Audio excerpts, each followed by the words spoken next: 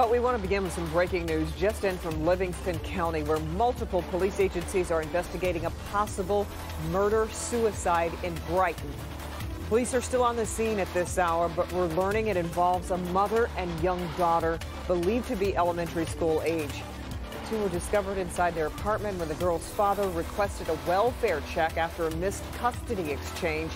Police believe the two may have been dead for days before today's discovery.